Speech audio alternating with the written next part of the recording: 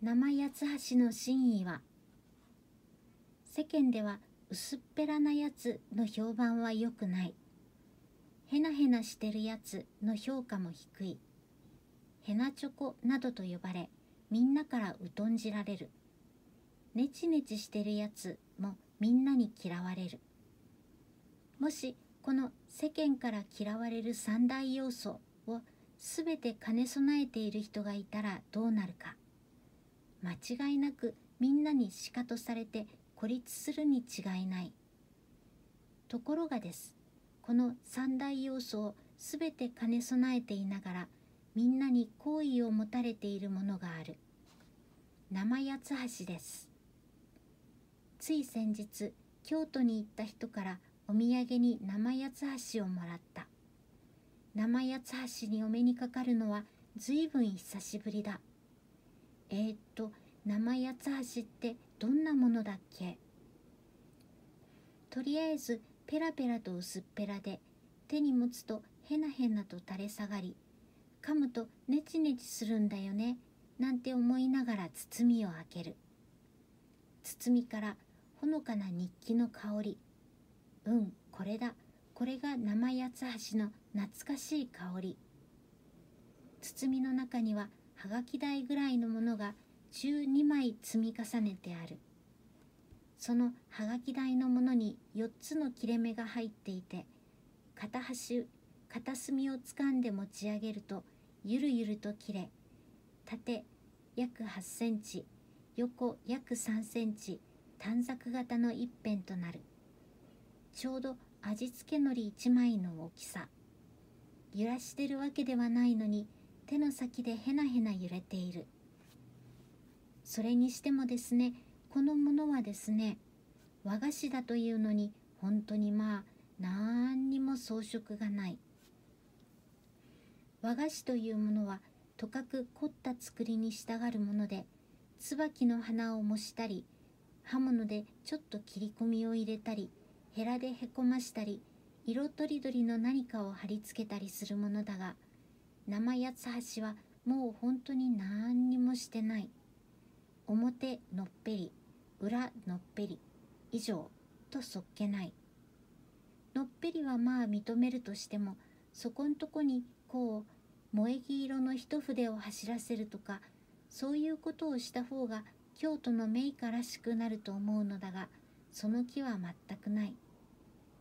一応短冊の形はしているがその形に固執することはなくつまみ上げられればでれりとだらしなくしぼんで垂れ下がり置けばへにゃりとへたり込む「あなたはふてくされているんですか?」とか「投げやりな性格なんですか?」とか「すねてるんですか?」とか一度その真意を聞いてみたくなる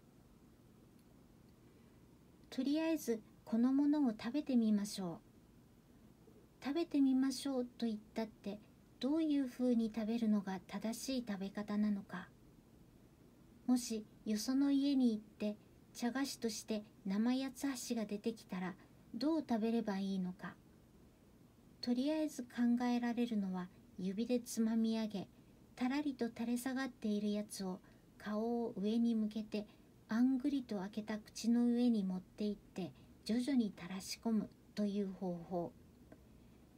今まさにベローンと垂れたものを口の中に入れようとした入れようとした時不意に突風が吹いたらどう対処すればいいのか。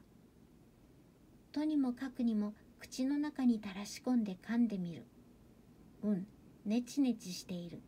へにゃへにゃしている。歯ごたえがないわけではないが何しろ厚さが2ミリぐらいしかないのでちょっとねちっとしてそれっきり。日記の香りはとても好ましいがこれではどうにも物足りない。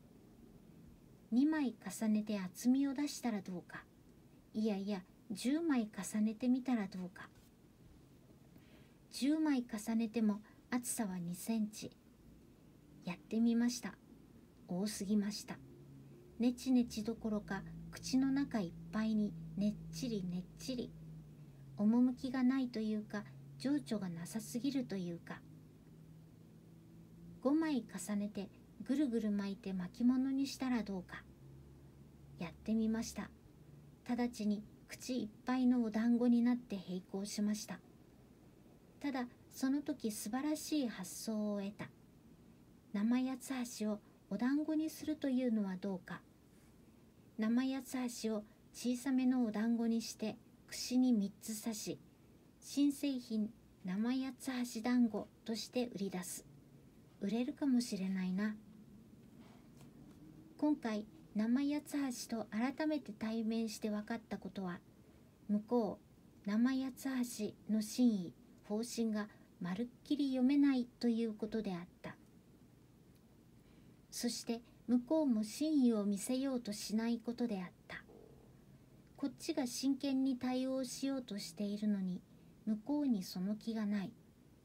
のらりくらりと逃げ回っているわけでもなさそうなのだがあくまで真意は明かそうとしない。